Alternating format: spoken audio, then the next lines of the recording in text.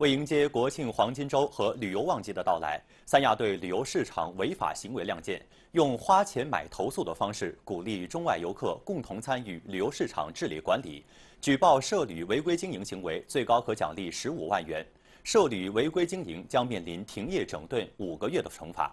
三亚用中奖中成、一诺千金来整肃旅游市场，为游客营造放心游的环境。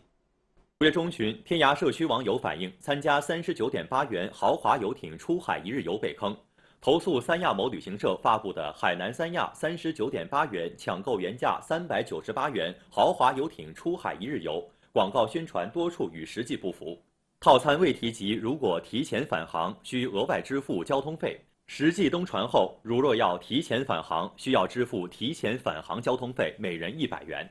都都客人反映的问题跟我们调查的那个情况，都基本上都一致。当时客人所报名的那个呃豪华游艇一日游所玩的相关内容和他实际宣传的内容不符，按照那个虚假宣传对该旅行社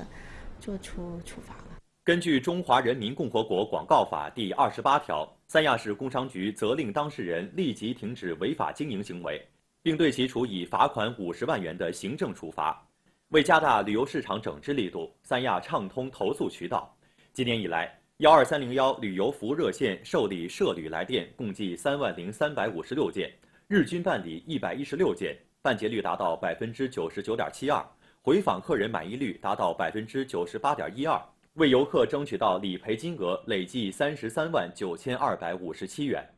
市民和游客凡在三亚旅游和生活过程当中碰到的任何问题，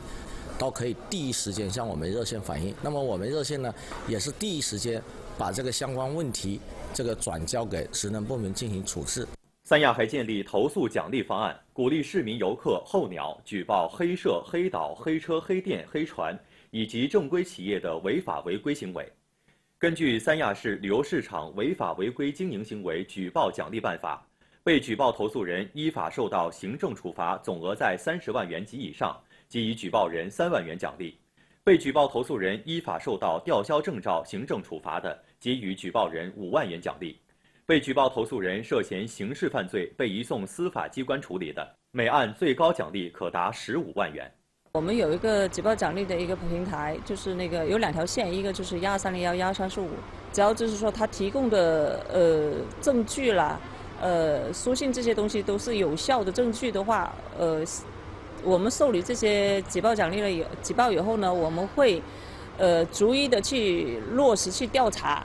调查取证出来了以后呢，如果呃有处罚结果的话呢，我们会跟游客做一个回馈，然后奖金流程这一块的话呢，也会根据他那个处罚的这个结果来发放奖金。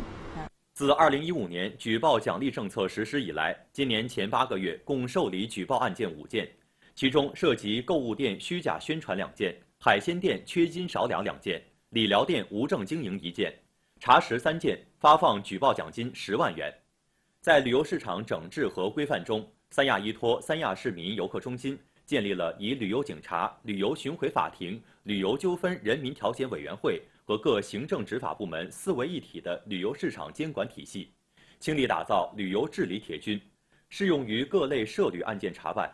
通过有效打击整治，三亚旅游诉讼案件呈断崖式下降。二零一三年一百五十九起，二零一四年一百三十起，二零一五年下降到九起，二零一六年两起，二零一七年到目前为止一起。然后对这个全市的涉旅的重点企业，还有一些有违法违规的行为的企业，我们都进行了约谈。然后呢，是化被动为主动，啊，要旅游市场监管和旅游市场治理要主动出击，争取做到有头必回、有诉必应，